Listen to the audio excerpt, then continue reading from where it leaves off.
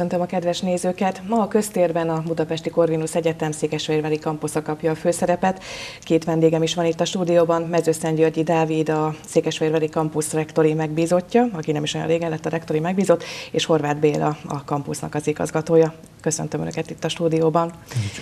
És akkor, ahogy mondtam a felvezetőben, tehát itt ugye a kampusz fogja kapni a mai főszerepet, nagyon sok minden változott eddig, például a rektori megbízott személye, és hogy még, és még, még újdonságok is várnak szeptembertől ugye a, a diákokra is, illetve a lakosságra is. Ezekről fogunk beszélgetni ma. Hát az elején szeretnék egy ilyen általános kérdéssel kezdeni, hogy hogyan érzik magukat. Ugye ön nem olyan régóta került, mint rektori, megbízott a Székesfehérvári kampuszra, de Horváth Béla pedig 2016 az indulás óta igazgatója az intézménynek. Igen, 2016-ban ö, kerültem ide a Corvinus Székesfehérvári kampuszának az igazgatói pozíciójába.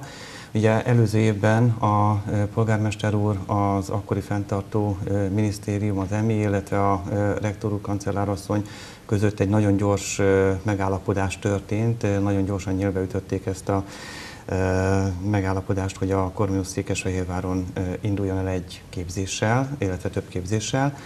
2016-ban ez a képzés meg is indult, jelen pillanatban ugye most már három, illetve két alap- és mesterképzési szakkal indultunk el.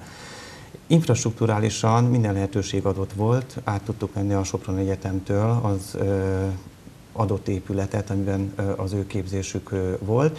Ezt az épületet most már a saját tulajdonunknak is tudhatjuk. Ebben az épületben minden lehetőség adott volt, oktatótermek, számítógépes terem, némi átalakítással természetesen, de biztosítani tudtuk ugyanazt az infrastruktúrális feltételeket, mind informatikailag, mind üzemeltetésileg, amit a budapesti kampuszon biztosítani tudunk hallgatóknak, oktatóknak, kutatóknak. Az elmúlt három évben nagyon sokat fejlődött nyilván infrastruktúrálisan ez a kampusz. Hál' Istennek most azt kell, hogy mondjuk, hogy egy új épülettel is gazdagodtunk, ami a hallgatói bázis erősödéséből és a Corvinusnak azon szándékából is áll nyilvánvalóan, hogy mi ezt hosszú távra tervezzük, és mi ebben a városban itt hosszú távon szeretnénk együttműködni, mind a várossal, mind a régióval. Az életet egyébként mi jellemzi a, a kampuszon? Milyen? Nagyon családias a hangulat, eleve kisebb a létszám, tehát a budapesti kampuszon 10 ezer, 11 ezer hallgatóval, azt nem tudjuk biztosítani, amit itt biztosítani tudunk a hallgatóknak. Itt gyakorlatilag nem egy 500 fős előadóteremben ülnek a hallgatók, az oktatók azok ismerik az összes hallgatót. Tehát tudunk egy olyan plusz biztosítani a hallgatóknak, ami szerintem mindenképpen egy olyan előny, mind a hallgató részére, mind az oktató részére is egyébként, ami verhetetlen ezen a kampuszon. A kollégák között is, és szerencsére azt kell, hogy mondjam, a kollégák is 2016-tól az indulástól kezdve egy stabil bázissal működünk. Nagyon jól tudunk együttműködni az oktatókkal is, illetve a hallgatókkal is, ami különösen fontos, mert ugye mi egy kollégiumot is üzemeltetünk itt a kampuszon belül, ez a kollégium pedig igényli azt, hogy a hallgatókkal mind az üzemeltetési, mind a kollégiumi koordinátor kollégák is jól, jól, jól tudnak együttműködni. Ez a kollégium egyébként azt kell, hogy mondjam, hogy olyan felszereltségű és olyan lehetőségeket biztosít, amit számos budapesti kollégiumunk sem tud teljesíteni. Két ágyas szobákban, apartman jellegűek a szobák, tudjuk biztosítani légkondicionált körülmények között a pihenést, a tanulást.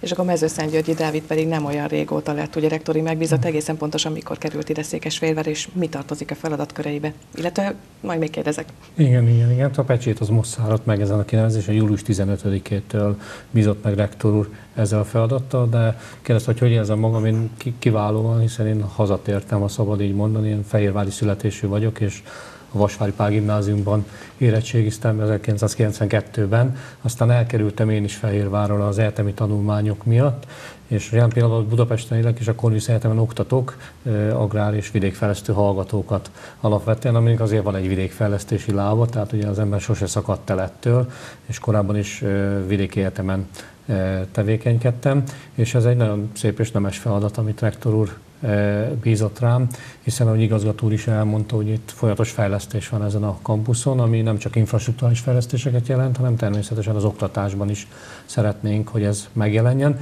Hát nem csak az oktatásban, hanem minden olyan akadémiai szférában, amihez tartozik, hiszen Természetesen az oktatás a legfontosabb, és a, talán a nézőket is ez érdekli a legjobban jelen pillanatban, ugye, hogy hogyan lehet ide bekerülni, hogyan lehet részt milyen körülmények között lehet részt venni. Ahogy igazgató is elmondta, azt tudom mondani az akadémia oldal részéről is, hogy ugyanazt a színvonalú oktatást kapják itt az Fehérváron hallgatók, mint Budapesten, néha még talán pluszokkal együtt is. Illetőleg, ami teljesen fontos lenne, hogy az akadémia oldalnak nem csak oktatási, hanem kutatási feladatai is vannak, és talán ez a megbízás arról is szól, hogy ezt a lábat próbáljuk meg kicsit megalapozni.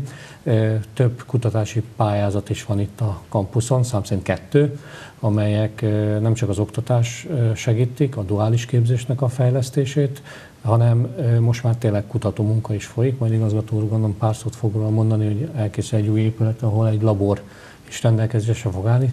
Nekem az a feladatom többek között, hogy ezt a labort kutatási programokkal megtöltsük, és én azt gondolom, hogy nem önmagában jelent ez jó dolgot, mert az csak egy dolog, hogy az egyetem kutat itt, ezt Pesten is megteszik természetesen a kollégák, hiszen a egyetemi minősítésnek egy nagyon fontos eleme az oktatásontól a kutatási fejlesztési tevékenység is, hanem azt gondolom, hogy nagyon fontos, hogy ez egy nyitott kampuszként kell, hogy működjön. Ugye a városvezetéssel nagyon jól viszonyunk, én azt gondolom Fehérvár mintaértékűen áll hozzá ahhoz a felsőoktatást kezeli.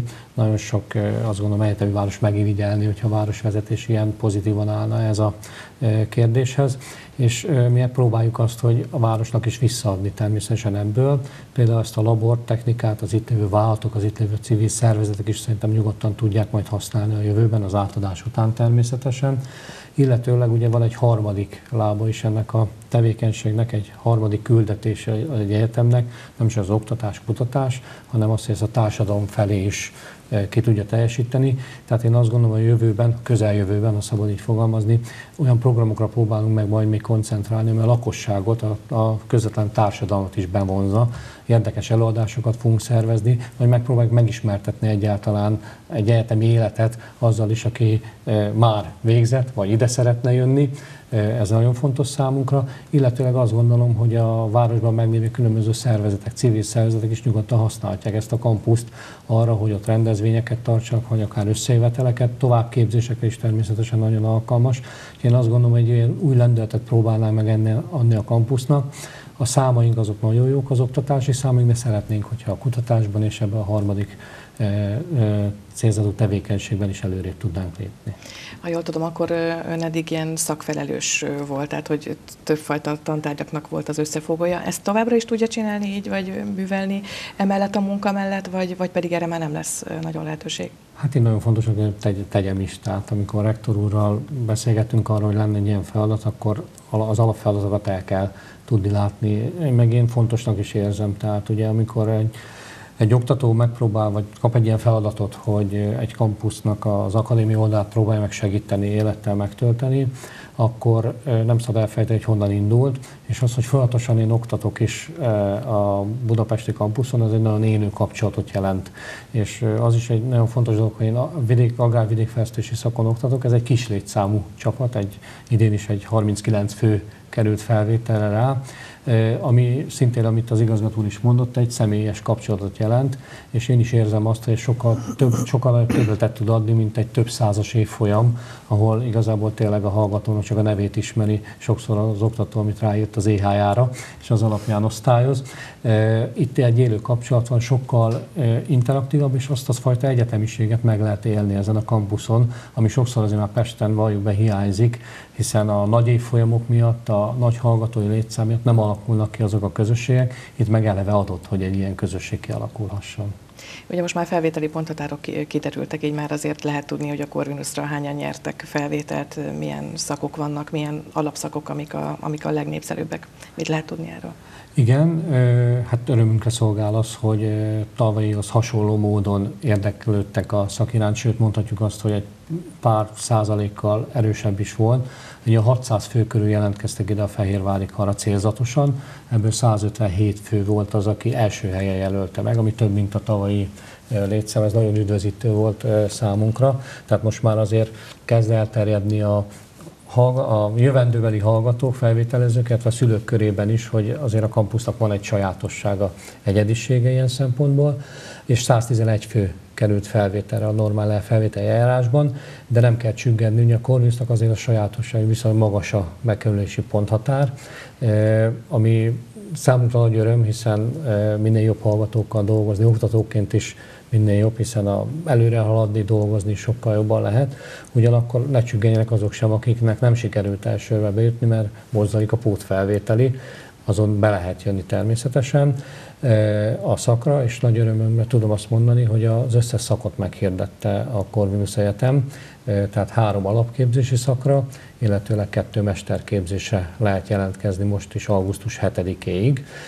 Nem tudom, technikai részleteket mutathatok-e? Igen, engem például érdekelne, hogy így melyik a legnépszerűbb alapszak és mesterszak. Ami... Igen, ugye alapszakon mi a gazdálkodás és menedzsment szakot, a pénzügy számvitelt, itt a, a, a közgazdá, turizmus, turizmus vendéglátás szakot hirdettük meg. Ezeken a szakokon Hát a legnépszerűbb azt mondhatjuk, hogy a legtöbb felvételt nyert az a gazdálkodás és menedzsment szak. Ez Pesten is a legnépszerűbb szak, tehát ebben nincs különbség, azt kell, hogy mondjam, hogy a budapesti képzési, a fehérvári képzési hely között. Ugye tudni kell, hogy itt Fehérváron ugyanazok a szakok vannak meghirdetve, kevesebb számban, mint Budapesten. Az oktatók is ugyanazok, tehát ezért mondjuk az bátor ugyanaz a képzési színvonal van, hiszen e, olyan, mint hogyha a fővám téren ülne valakiben az előadóban ugyanazt tudja hallgatni. E, ez a pontszámokban is megmutatkozik azért, tehát itt 300 pont fölött lehetett bekerülni. Ugye a pótfelvételi eljárásban már csak fizetős helyre lehet bejönni, azt azért el kell, hogy mondjuk, de ez nem a Corvinus a sajátossága, hanem ez általánosságban tudom mondani, hogy, hogy, hogy így van az egyetemi felvételben, viszont nappali szakot is meghirdetünk.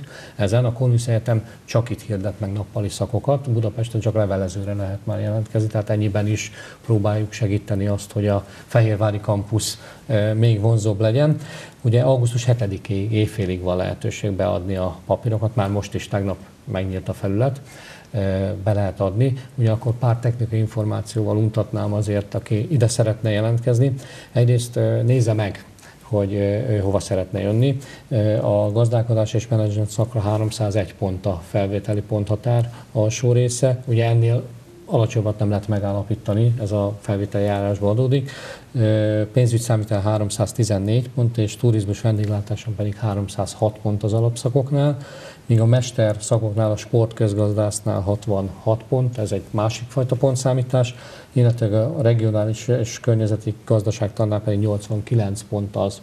Tehát azokat biztatnám, akinek most megvannak ezek a pontszámai, mi akkor felhívnám rá a figyelmet, hogyha teljesen más területre jelentkezett eddig, nem mondjuk nem gazdálkodási területre, hanem van műszaki területre, akkor lehet, hogy a pontszámításnál másokat kell figyelme venni. Nálunk nem szükséges emelt szintű érettségi azt, azt már tudom mondani, tehát ez nem kritérium, más egyetemeknél van, van ahol erre odafigyelnek, viszont amely fölhívnám mindenképp a figyelmet, hogy nincs lehetőség hiánypótlásra. Tehát aki szeretne jelentkezni, az a felhív.hu a Budapesti Kolműszerűen Fehérvári képzéseit jelölje meg.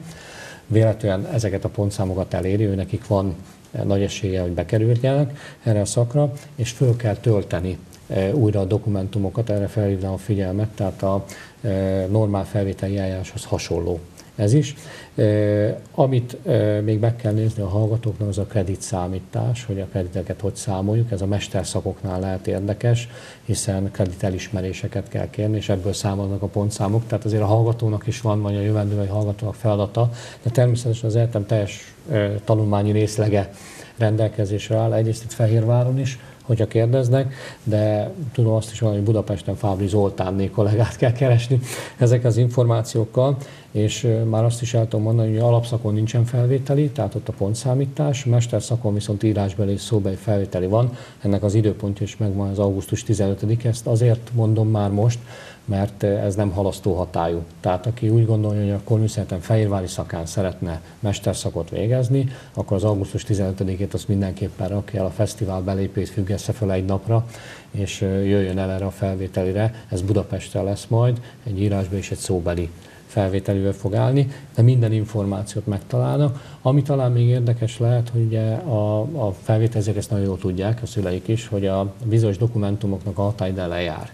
ezeket meg kell újítani. Tehát aki februárban beadta a papírjait, vannak olyanok, amelyek 30 nap, napig érvényesek, például a hátrányos helyzetről történő vagy sporteredményeket tartalmazó dokumentáció, ezeket föl kell, az érettségit és a nyelvvizsgát természetesen nem kell újra hitelesítetni ilyen szempontból, de ezekre figyeljenek oda, mert viszont nagyon rövid az idő, ugye eleve már egy hét nap van még a beadásig, és nekünk is a felvitelit 15-én le kell bonyolítani, és 26-án már eredményközlés van, ezért kérnék mindenkit, hogyha bármiben is bizonytalan, akkor keressen eh, minket itt a Fehérvári kampuszon, vagy a budapesti központi elérhetőségeken, és a kollégák készségesen fognak segíteni.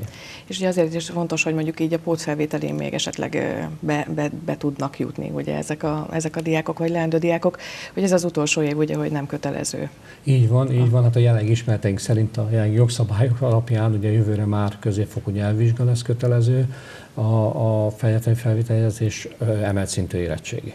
Tehát én mindenkit biztatok, hogyha most ő is úgy gondolta, én szülőként is ezt mondanám a saját gyerekeimnek, kerüljön be egy felsőfokú intézménybe, ilyen szempontból a Corvinus jó szívvel tudjuk ajánlani, a képzési struktúrát tekintve és a diplomának az értékét is tekintve, kerüljön be, higgyel lehet, hogy, hogy nem első körben 18 évesen azt gondolja, hogy neki valamilyen más szakmát kell űznie, lehet, hogy ez ki fog tartani, de későbbiekben át is lehet jelentkezni. Természetesen mi ezt nem szeretnénk, mert úgy gondoljuk, az első félben annyira meg fogja szeretni ezt a képzést, hogy itt fog maradni, de alapvetően azt gondolom, hogy igen, adják be, hiszen jövőre sokkal nehezebb lesz a versenyfeltétel a többi intézményben is, nem csak a Corvinusra bekerülni, tehát most még azért én azt gondolom, aki ismeri a körülményeket és elérte ezeket a pontszámokat, az bátran adja be és próbáljon meg bejutni.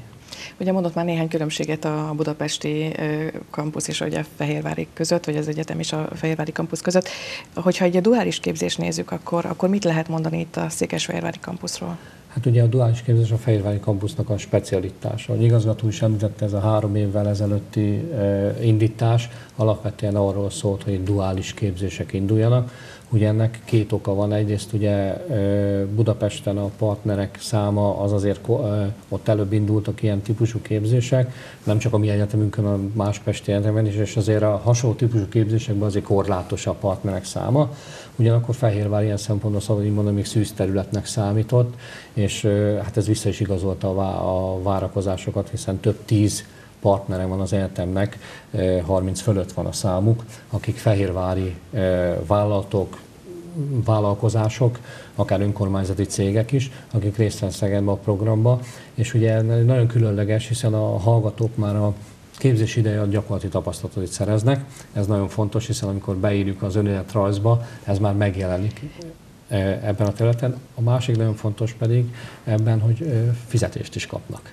Tehát ugye a mai világban, amikor látjuk az albéletárakat, látjuk a, a bekerülési lehetőségeket, ez nagyon fontos azt gondolom mind az egyének, mind a családjának, hogy egy ilyen típusú képzésbe akkor akár még jövedelemhez is juthat. Igen, amit akartam kérdezni, hogy egyébként az összes alapszakon, mesterszakon elérhető a duális képzés itt a Szekesvérvári kampuszon? Én igen, azt tudom mondani, hogy igen. A, a partnervállalatoktól is függ, hiszen ugye a felvételjárás az úgy zajlik, hogy föl kell venni valakit a iskolába, és utána van egy duális felvételi fázis. Erről majd szeptember elején kell tudni, vagy augusztus 26-a után tudunk beszélni, amikor ponthúzás volt és hogyha talál magának partnert, ez a partner, duális partner is úgy gondolja, akkor igen, elérhető lesz ez a fajta képzési forma mindegyik szakon, amelyik indul itt Fehérváron. Akkor ezt úgy kell elképzelni, hogy ugye a cég is, hát mint egy felvételizteti, ugye a diákot, tehát olyan, mint hogyha saját munkaerőként felvenni, tehát gondolom, hogy van egy beszélgetés. Így van, előtte. így van, a cégek is felvételiztetnek, hiszen ugye ez egy hosszú távú kapcsolat, ha szabad így fogalmazni, tehát hogy egy három akár öt évre is elköteleződik a hallgató vállalat mellett.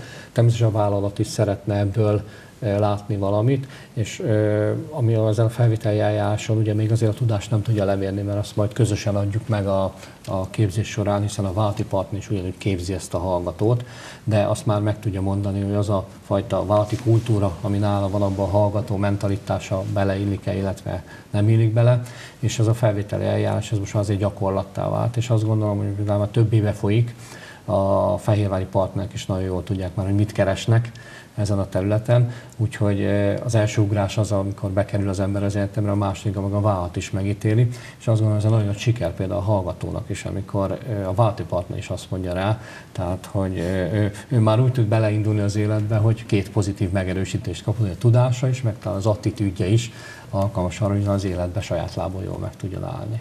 Igen, és ráadásul szerintem fontos, mert amikor kiírnak egy-egy hirdetést, akkor ugye abban benne van a gyakorlattal rendelkező, de hogyan rendelkezzen gyakorlattal, hát így a duális képzéssel, akkor ez, ez, ez így van. van. Sőt, hát műhelytitkot is el lehet ugye itt árulni, ugye a vállalatok azért azok a hallgatók, hogy jól teljesítenek, nekik nem hirdetik meg az újságban, hogy bármilyen feleten az állást, hanem e, hallgató szerződést, a munkaszerződést kínálnak nekik.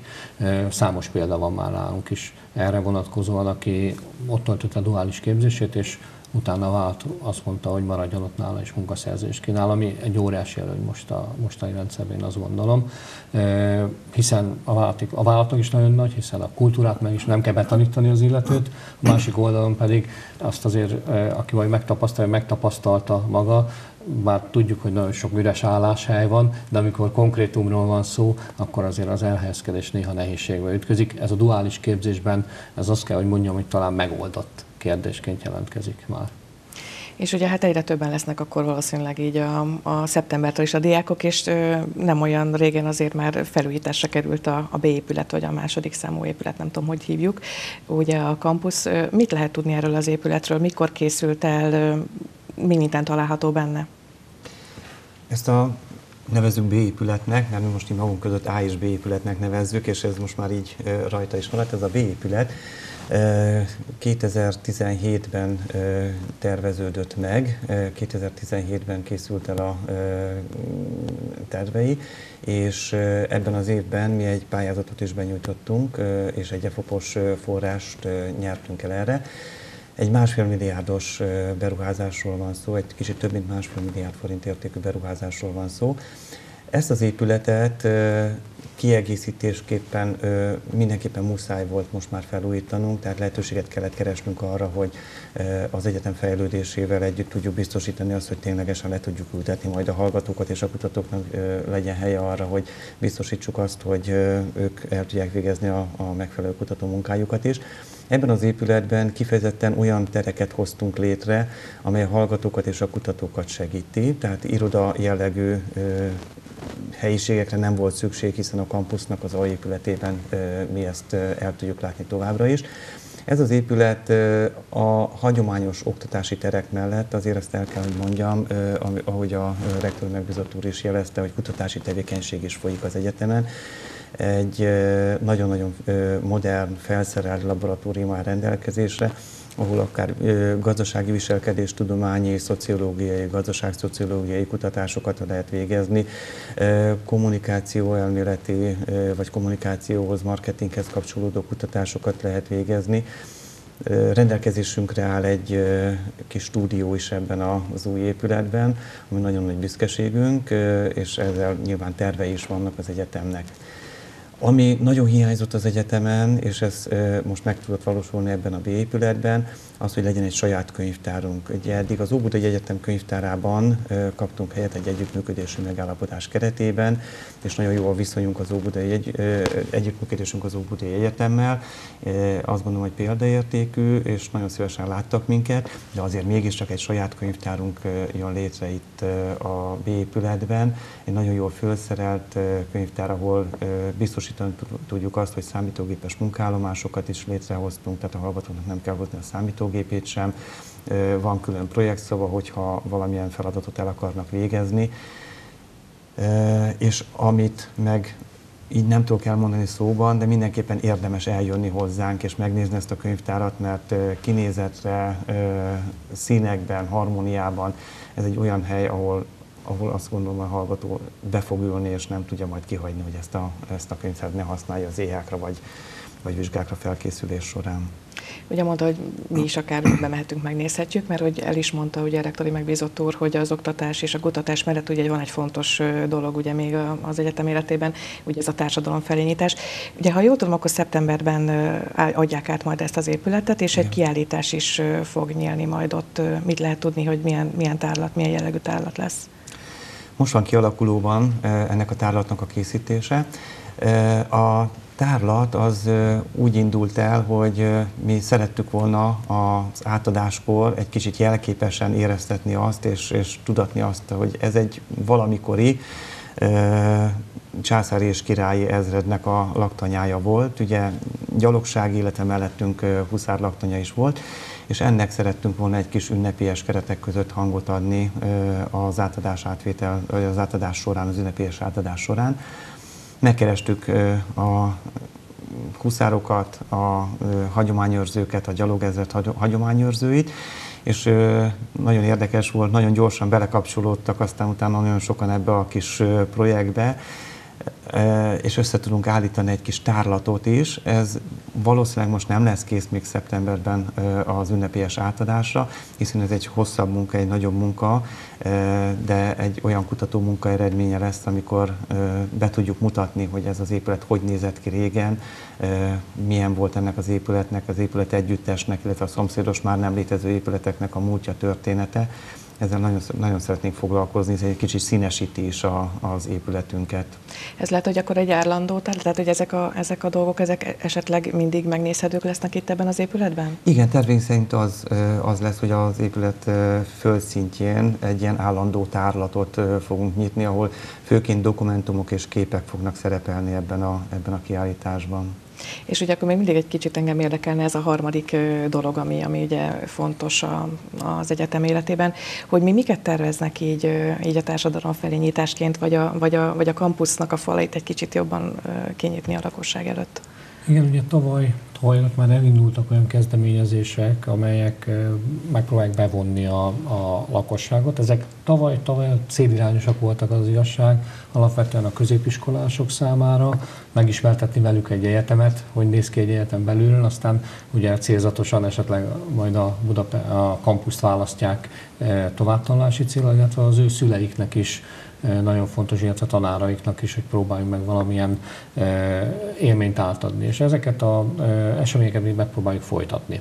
Alapvetően én nekem az feladatom rektor úr megbízása alapján, hogy próbáljunk meg olyan kapcsolatokat kialakítani, amelyek aztán élővé teszik ezt az egyetemet. Konkrétumokat is tudok mondani, tehát egyrészt ezt fog, fogjuk folytatni, beszélgetéseket, tudományos előadásokkal. Mi is megpróbáljuk azt, hogy a itt nem oktató kollégák, de mondjuk ne Isten országos hírnévre szertett kollégák egy-egy előadással lejöjjenek, és akkor a város lakossága számára ezt meghirdetjük természetesen, és be lehet oda jönni. Ugye most már 300 fő, ugye szóval legnagyobb előadónk, tehát addig, addig e, e, tudunk fogadni hallgatókat, de nagyon szeretném azt, hogy elsősorban ugye a duális partnerekkel olyan kapcsolatot kialakítani, azok a céges rendezvények vagy céges megmozdulások, amelyeket ugye a város különböző pontjai tudnak elvinni, tehát egy kicsit konkurenciát is teremtve a többiek felé, hogy hozzák ide a kampuszra, ezen, ezen tudjon működni, és talán a tárlat is ilyen lehet, hogy ez egy nyitott kampusz, talán kevesen tudják azt, hogy lehet, hogy sokan tudják, hogy nem lépik meg, hogy az egyetemi előadásokra a látogatás az nyitott. Tehát aki úgy gondolja, hogy beszeretne menni egy kampusz látogatásra, akkor bemehet és beülhet egy nem szemináriumi, hanem egy normál egyetemi Nem is kell bejelentkezni egyébként előtte? Vagy hát ez ugye, hogy Most, hogy mondjam, eddig nem volt sose probléma, uh-huh. hogyha, hogyha egyszer olyan lesz, hogy sajnos sokan lesznek, akkor majd, majd regisztrációhoz kötjük, de ezt föl tudjuk ajánlani természetesen, hogyha szeretne valaki bejönni a kampusz, egy nyitott kampusz. Természetesen azért a megfelelő biztonsági szabályokat itt is be kell tartani, de nagyon szívesen látunk mindenkit. Egy célzottan is fogunk erre azt gondolom nyitott órákat tartani, vagy nyitott beszélgetéseket tartani, vagy egy-egy mondjuk egy kutatási téma, amit igazgató is említett, hogy a labor elkészültével, ott egy nyílt napot tartani annak érdekében, hogy meg lehessen ismerni azokat a berendezéseket, azokat a tárgyakat, illetve hát hogy hogyan használjuk ezeket, mert ez egy, én azt gondolom, mindig ugye a színházban is a szemben szeret járni, de amikor megnyitják hátul a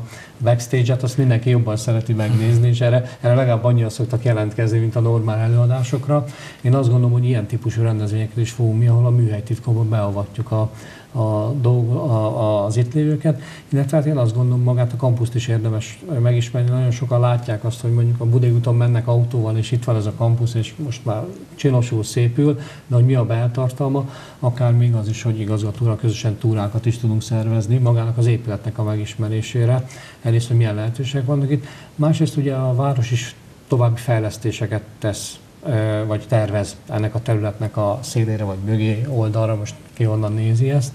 Én azt gondolom, hogy hogy nagyon fontos lenne, amikor ezek a fejlesztések megvalósulnak, hogy ez egy nyitott, élő dolog legyen, és valaki mondjuk egy találkozót is már mondjuk a kampusz kertjébe szeretne tervezni, tehát nekünk ez nagyon fontos, mi pedig azt próbáljuk meg megtenni, hogy ez otthonosan történhessen meg, tehát egy olyan infrastruktúra legyen körülötte, ami predestinálja erre, illetve akár programokat is tudjunk hozzáadni. És nekem az középtávon is egy elgondolásom, hogy, hogy azért a kampusz a fehérváriaknak a tudatában is azért, mint egy rendezvényhelyszín, vagy egy, vagy egy jó hely, ha szabad így fogalmazni, egy jó kávéház, vagy egy, vagy egy másik rendezvényhelyszín, így be tudjon épülni, és mi nem minden lehetőséget megpróbálunk megadni. Igen, erre egy nagyon jó környezet egyébként tényleg ott a, a kampusz és a környéke.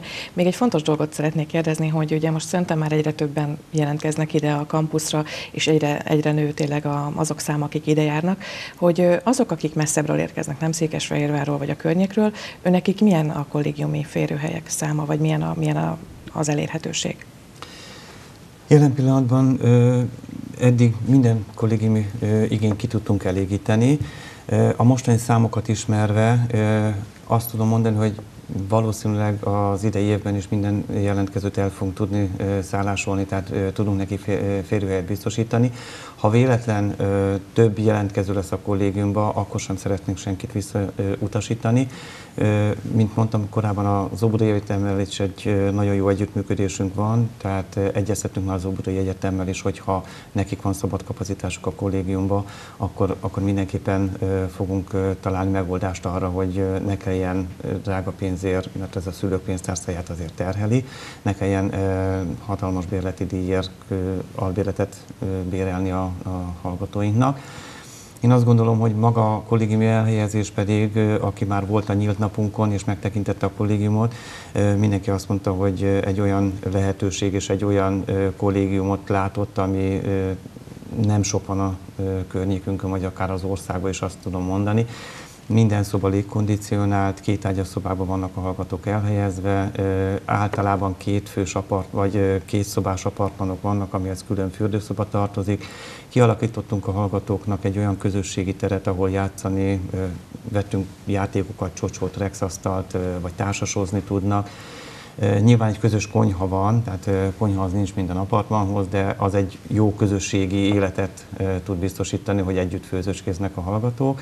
És azért, hogy tanulni is tudjanak, mert hogy azért egyetemisták, hogy azért foglalkoznak azzal is, két olyan szoba áll rendelkezésre, ahol tudnak tanulni tanulószoba, az egyiket számítógépekkel felszereltük, illetve fontos az egészség is, tavalyi év folyamán a városnak köszönve a segítséget ezúttal is kialakítottunk egy kondiszobát, ahol felszereltük kondigépekkel is, amit tudnak használni szintén a hallgatóink.